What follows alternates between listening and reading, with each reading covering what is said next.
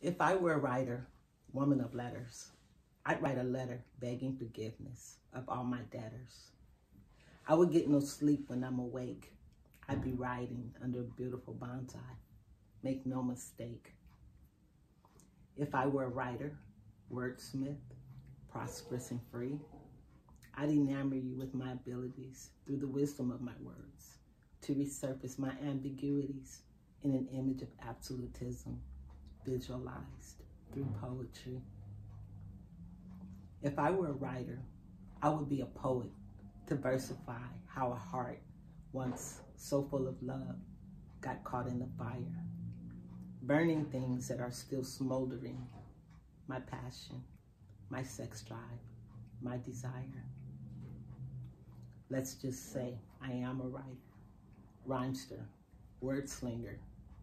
Let's just say I am a writer poet.